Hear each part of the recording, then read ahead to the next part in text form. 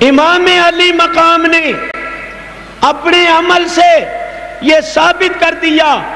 نبی پاک علیہ السلام یہی چاہتے تھے کہ میری امت میں ایک ایسی مثال بھی قائم ہو جائے جو آنے والے بہادروں اور آنے والے شجاعوں کے واسطے ایک مثال ہو، جس کو سامنے رکھ کر وہ جابروں اور ظالموں کے سامنے کلمہ حق بلند کر سکیں۔ امام علی مقام نے نانا جان کے ساتھ کیے ہوئے عہد کو پورا کیا اور حق و صداقت کی آواز کو بلند کر کے اس پر استقامت اختیار کی۔ اور اپنے عمل سے ثابت کر دیا کہ میں اپنی آنکھوں کے سامنے اپنا بھرا ہوا گھر لٹتے دیکھ سکتا ہوں لیکن نانے کے ساتھ کیے ہوئے عہد کو نہیں توڑ سکتا اور میں حق و صداقت سے قدم پیچھے نہیں ہٹا سکتا۔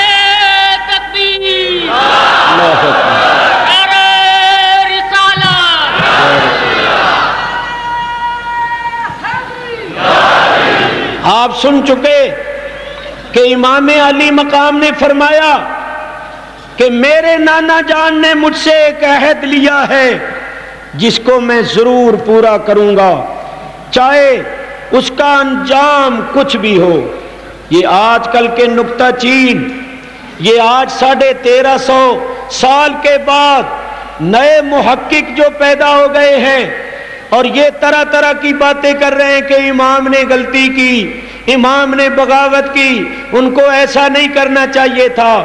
یہ امام علی مقام کے بلند مقام کو کیا سمجھیں؟ میاں جان سب کو پیاری ہوتی ہے، عزیز و اقارب بھی سب کو پیارے ہوتے ہیں۔ جب امام علی مقام نے اتنی بڑی قربانی دے دی تو ماننا پڑے گا کہ امام علی مقام کے پیش نظر بہت بڑا مقصد تھا اور وہ بہرحال اس مقصد کو پورا کر رہے تھے اور کسی صورت میں اس مقصد کو چھوڑنے کے واسطے تیار نہیں تھے۔ تو میرے بزرگوں اور دوستوں، آپ آگے بڑھتے چلے گئے۔ یہاں تک کہ آپ کے بہنوئی نے کہا، میرے بھائی، میں نے گورنر مکہ امر بن سعید سے آپ کے لیے امان نامہ بھی حاصل کر لیا ہے۔ گورنر مکہ نے ضمانت دے دی ہے، تحریری طور پر امان دے دی ہے کہ حسین واپس آ جائیں۔ ان کو کوئی خوف خطرہ نہیں ہے۔ تو آپ واپس چلیے۔ امام علی مقام نے فرمایا، مجھے گورنر مکہ کی امان کی ضرورت نہیں، مجھے اللہ اور اللہ کے رسول کے امان کی ضرورت ہے۔ امام علی مقام آگے بڑھتے چلے گئے۔ جب آپ مقام حاجر تک پہنچے، کوفے کہ راستے میں ایک مقام ہے جس کا نام ہے حاجر۔ تو آپ نے اپنے رفقا میں سے ایک رفیق کو، جس کا نام تھا قیس بن مسہر السیداوی اس کو ایک خط دے کر اہل کوفہ کی طرف بھیجا۔ اس خط میں آپ نے یہ لکھا تھا، اہل کوفہ کے نام کہ میں مکہ مکرمہ سے چل چکا ہوں، مقام حاجر تک پہنچ چکا ہوں۔ اب میں چند دنوں کے بعد تمہارے پاس پہنچنے والا ہوں۔ تم اپنے عہد پر قائم رہو۔ جس طرح کہ تم نے اپنے خطوط میں اپنی وفاداری کا اظہار کیا تھا، اسی طرح وفادار ہو کے رہو اور میرا انتظار کرو اور برابر امام مسلم کا ساتھ دو۔ ادھر ابن زیاد نے بھی جاسوس بٹھا دیے تھے۔ تمام راستوں کی ناکہ بندی ہو چکی تھی۔ جگہ جگہ سی آئی ڈی تھی۔ بلکہ امام علی مقام کے ساتھ بھی سی آئی ڈی کے آدمی برابر جا رہے تھے۔ اور وہ سارے راستے کی خبریں ابن زیاد تک پہنچا رہے تھے کہ حسین مکے سے روانہ ہو چکے ہیں، مقام حاجر تک پہنچ چکے ہیں۔ اب انہوں نے اپنے ایک رفیق کو ایک خط دے کر روانہ کیا۔ تو چونکہ راستوں کی ناکہ بندی ہو چکی تھی، جگہ جگہ پولیس اور فوج بیٹھی ہوئی تھی، انہوں نے امام علی مقام کے قاصد حضرت قیس کو پکڑ لیا۔ اور پکڑ کر ان سے خط بھی چھین لیا۔ کوفے میں لے گئے۔ ابن زیاد کے سامنے پیش کیا۔ ابن زیاد نے کہا، ایک صورت میں میں تمہیں چھوڑ سکتا ہوں کہ دارالعمارت کی چھت پر چڑھو اور علی اور حسین پر لانت کرو۔ معذم ان کو برا بھلا کہو تو میں تمہیں چھوڑ دوں گا۔ تمہاری جان بخشی کر دوں گا، ورنہ میں تمہیں کسی صورت میں معاف نہیں کروں گا۔ حضرت قیس نے کہا کہ مجھے دارالعمارت کی چھت پر چڑھاؤ، چڑھا دیا گیا۔ حضرت قیس نے کہا کہ کوفے والوں کو بھی بلاؤ، تاکہ جو کچھ میں کہوں وہ سنیں بھی۔ کوفے والے بہت سے آ گئے، وہ دارالعمارت کی، دارالعمارت کے پاس کھڑے ہوئے تھے اور حضرت قیس دارالعمارت کی چھت پر تھے۔ آپ نے پہلے اللہ کی حمد و ثنا کی، پھر نبی کریم علیہ السلاۃ السلام پر درود و سلام بھیجا۔ اور پھر فرمایا کوہے والو، یاد رکھو، اس وقت روئے زمین پر حضرت امام حسین سے بہتر کوئی شخص نہیں ہے۔ وہ تمہارے نبی کے نواسے ہیں اور اس وقت روئے زمین پر کوئی اور تمہارے نبی کا نواسا نہیں ہے۔ حضرت امام حسین وہ ذات ہیں جن کے بارے میں نبی کریم علیہ السلاۃ السلام کا یہ فرمان ہے کہ وہ جنت کے نوجوانوں کے سردار ہیں۔ اللہ تعالیٰ نے ان کو ظاہری باطنی آلودگی سے پاک کر دیا۔ اسی طرح حضرت علی کرم اللہ تعالیٰ وجہ الکریم فاتح خیبر ہیں۔ دنیا و آخرت میں نبی کریم علیہ السلاۃ والسلام کے بھائی ہیں۔ سیدہ فاطمہ زہرا رضی اللہ تعالیٰ عنہ کے شوہر ہیں۔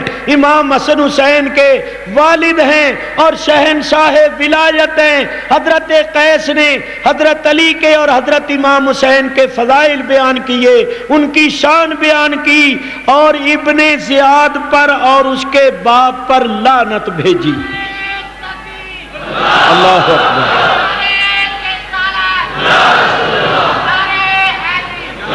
یہ بہت بڑی جرت کا کام تھا کہ گورنر کوفہ کے سامنے امام علی مقام کے قاصد نے حضرت امام علی مقام کی اور ان کے والد ماجد حضرت علی کی تعریف اور ثنا کی تھی اور زیاد پر اور ابن زیاد پر لانت کی تھی۔ بلا گورنر کوفہ ابن زیاد اس کو کس طرح برداشت کر سکتا تھا؟ اس نے حکم دیا کہ اس کو بڑی اذیت پہنچاؤ۔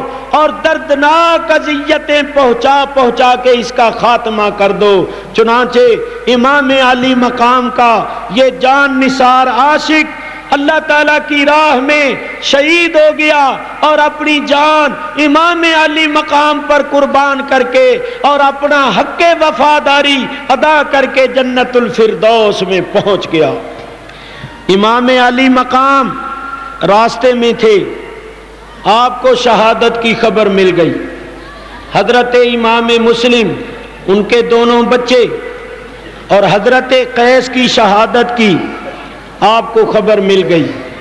جب آپ نے خبر سنی، آپ کی آنکھوں سے آنسو جاری ہو گئے۔ آپ نے انا و انا راج ان پڑھا اور اپنے دوستوں کے ساتھ مشورہ کرنے لگے کہ یہ کیا ہوا؟ ابھی ابھی تو ہمارے پاس مسلم کا خط پہنچتا ہے کہ حالات بڑے تسلی بخش اٹھارہ ہزار افراد نے بیعت کر لی اور بیعت کرنے والوں کی تعداد میں برابر اضافہ ہو رہا ہے۔ اور اب ہم یہ سن رہے ہیں کہ ان کو شہید کر دیا گیا۔ اتنی جلدی اتنا بڑا انقلاب کیسے آ گیا؟ ہمیں جانا چاہیے اور جا کر معلوم کرنا چاہیے۔ اور حضرت مسلم کے بھائیوں اور فرزندوں نے بھی کہا کہ ہم ان کا انتقام لیں گے، ہم ضرور بدلہ لیں گے اور بغیر انتقام لیے ہم واپس نہیں جائیں گے۔ الغرض، یہ لوگ آگے بڑھتے چلے گئے۔ یہاں تک میں مختصر کروں کہ انہوں نے ایک لشکر آتے ہوئے دیکھا۔ یہ ہر بن یزید ریاہی تھا۔ جو ایک ہزار کا دستہ لے کر سب سے پہلے آپ کو گرفتار کرنے کے واسطے آیا تھا۔ اس سے ملاقات ہوئی۔ اس نے کہا، جناب، میں آپ کو گرفتار کرنے کے واسطے آیا ہوں۔ آپ نے فرمایا، ہمارا کوئی جرم۔ اس نے کہا، جناب، جہاں تک مجھے معلوم ہے، آپ کا جرم صرف یہ ہے کہ آپ نے بغاوت کی ہے۔ یزید کی عمارت اور حکومت کو تسلیم نہیں کیا اور یزید کے خلاف محاذ قائم کیا ہے، آپ پر بغاوت کا الزام ہے۔ اس واسطے میں آپ کو گرفتار کرنے کے واسطے آیا ہوں۔ آپ نے حر سے یہ فرمایا، ہم نے کوئی بغاوت نہیں کی۔ بغاوت تو یہ ہے کہ کسی کو اپنا امام اور اپنا امیر تسلیم کر لیا جائے۔ اور پھر اس کے خلاف آواز بلند کی جائے۔ ہم نے یزید کو اپنا امام اور اپنا امیر تسلیم ہی نہیں کیا۔ ہمارے نزدیک وہ امامت کا مستحق ہی نہیں، وہ عمارت کا اہل ہی نہیں ہے۔ لہذا بغاوت کا سوال ہی پیدا نہیں ہوتا۔ اور ہم کوفے اس لیے آئے ہیں کہ ہمارے مریدوں نے اور ہمارے محبوں نے ہمیں بلایا ہمارے پاس سینکڑوں خطوط پہنچے، وفود پہنچے۔ ان لوگوں نے ہمیں کوفے آنے کی دعوت دی، کیونکہ یہ سب ہمارے والد ماجد کے مرید ہیں اور محب ہیں اور ہمارے والد ماجد کی جماعت ہیں۔ امام علی مقام نے وہ تھیلا منگوایا، جس تھیلے کے اندر اہل کوفہ کے خطوط تھے۔ ان خطوط کو آپ نے ہر کے سامنے ڈھیر کر دیا۔ جب ہر نے ان خطوط کو دیکھا تو کہنے لگا، حضرت، واللہ، مجھے ان خطوط کا کوئی علم نہیں ہے۔ مجھے معلوم نہیں ہے کہ اہل اہل کوفہ نے آپ کے پاس اتنی تعداد میں خطوط بھیجے ہیں۔ بات یہ ہے، اب میں آپ کو واپس تو جانے نہیں دے سکتا، کیونکہ میرے ساتھ ایک ہزار سپاہی ہے اگر میں نے آپ کو واپس جانے دیا، تو یہ شکایت کریں گے۔ ابن زیاد سے کہیں گے کہ ہر نے امام حسین کو پا کر ان کو چھوڑ دیا اور ان کو واپس جانے کا موقع دیا۔ مجھ پر بغاوت کا الزام لگ جائے گا اور پھر مجھ پر مصیبت کے پہاڑ ٹوٹ پڑیں گے۔ میں اتنا کرتا ہوں کہ میں آپ کو گرفتار نہیں کرتا، آپ بھی کوفے کی طرف جا رہے ہیں اور میں نے بھی آپ کو گرفتار کر کے کوفے ہی لے جانا تھا۔ اور آپ کوفے کی طرف ہی جا رہے ہیں، تو میں آپ کے ساتھ ساتھ چلتا جاتا ہوں اور اپنے ساتھیوں سے یہ کہوں گا کہ بھائی مقصد تو ان کو کوفے ہی لے جانا ہے۔ جب یہ خود کوفے کی طرف جا رہے ہیں، تو پھر ان کو گرفتار کرنے کی کیا ضرورت ہے؟ اصل میں حر ازلی طور پر سعید تھا، نیک تھا، اور اس کی سعادت اور اس کی نیکی کی یہ سب سے بڑی دلیل ہے کہ اس سفر میں اس نے ساری نمازیں امام علی مقام کی ابتدا میں ادا کی۔ اس نے الگ نماز نہیں پڑھی، امام علی مقام کے پیچھے وہ نماز ادا کرتا رہا۔ مختصر یہ کہ امام علی مقام کے مقابلے میں لشکروں پر لشکر چلے آ رہے تھے۔ اور لشکر آ گیا۔ اس کے بعد اور لشکر آ گیا۔ محرم کی دو تاریخ تھی۔ امام علی مقام ایک جگہ پر پہنچے، اس جگہ پر آپ کو گھیر لیا گیا اور آپ کو آگے جانے سے روک دیا گیا۔ جب آپ اس جگہ میں گر گئے، آپ کی ناکہ بندی ہو گئی، چاروں طرف فوجیں پھیل گئی اور انہوں نے ناکہ بندی کر دی، تو آپ نے کسی سے پوچھا کہ جس جگہ پر ہم لوگ موجود ہیں، کھڑے ہوئے ہیں، اس جگہ کا نام کیا ہے؟ بتانے والوں نے بتایا کہ جناب، اس جگہ کا نام ہے کربلا۔ جب آپ نے لفظ کربلا سنا تو فرمایا، سچ فرمایا تھا۔ ہمارے نانا جان صلی اللہ علیہ وسلم نے کہ حسین کی شہادت گاہ کا نام کربلا ہے۔ اگر یہ کربلا ہے تو یہ تو ہماری شہادت گاہ ہے۔ اب ہم یہاں سے کہیں اور نہیں جا سکتے۔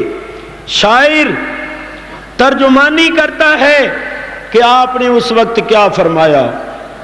دشمن یہاں پہ خون ہمارا بہائیں گے۔ زندہ یہاں سے ہم نہ کبھی پھر کے جائیں گے۔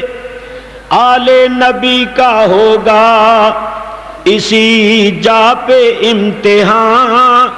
سب تشنا لب یہاں پہ سر اپنا کٹائیں گے۔ کربو بلا ہے نام اسی سرزمین کا۔ بچے یہاں پہ پانی کا قطرہ نہ پائیں گے۔ ہوگا ہر ایک شہید۔ یہاں مصطفیٰ کا لال اور لاش قتل گاہ سے ہم سب کی لائیں گے۔ امام علی مقام نے فرمایا، اگر یہ کربلا ہے تو یہ تو ہماری شہادت کا ہے۔ اب ہم یہاں سے کسی اور جگہ نہیں جا سکتے۔ اسی اسنا میں کسی گزرنے والے نے آپ سے پوچھا کہ آپ کون ہیں؟ کہاں کے رہنے والے ہیں؟ آپ کا نام کیا ہے؟ تو آپ نے جو جواب دیا، شاعر اس کی ترجمانی کرتا ہے، کسی نے جب وطن پوچھا تو یوں حضرت نے فرمایا کسی نے جب وطن پوچھا تو یوں حضرت نے فرمایا، مدینے والے کہلاتے تھے، اب ہیں کربلا والے، مدینے والے کہلاتے تھے، اب ہیں کربلا والے۔ یہ مدینے والے، مدینے سے نکل کر مکے میں آ گئے تھے اور اب تقدیر ان کو مکے سے نکال کر کربلا میں لے آئی تھی، کیونکہ انہوں نے کربلا کو بسانا تھا اور کربلا والے کہلانا تھا۔ میرے بزرگوں اور دوستوں، یزید کی طرف سے، ابن زیاد کی طرف سے لشکروں پر لشکر پہنچ رہے ہیں۔ امام علی مقام کے مقابلے میں بائیس ہزار کا لشکر جمع ہو گیا۔ امام کا قافلہ صرف بیاسی نفوس پر مشتمل تھا۔ ان بیاسی افراد میں عورتیں بھی تھیں، بچے بھی تھے۔ لڑنے والے چھوٹے بڑے سب کے سب بہتر تھے۔ مگر مقابلے پر آنے والے بائیس ہزار ہیں۔ امام علی مقام لڑنے کے ارادے سے نہیں آئے تھے۔ آپ سمجھ سکتے ہیں، جو لڑنے کے ارادے سے گھر سے نکلتا ہے، وہ اپنی بیویوں کو، بہنوں کو، بیٹیوں کو اور دودھ پیتے بچوں کو ساتھ نہیں لیا کرتا۔ امام علی مقام کا ان سب کے ساتھ نکلنا اس بات کی روشن دلیل ہے کہ آپ لڑنے کے واسطے نہیں نکلے تھے۔ امام مسلم کا خط پہنچ چکا تھا، حالات بڑے تسلی بخش ہیں، کوئی خوف و خطرہ نہیں۔ آپ نے اہل و عیال کو بھی ساتھ لے لیا، چند دوستوں کو بھی ساتھ لیا اور صرف اتنا ساز و سامان لیا جو راستے میں حفاظت کے واسطے کافی ہو۔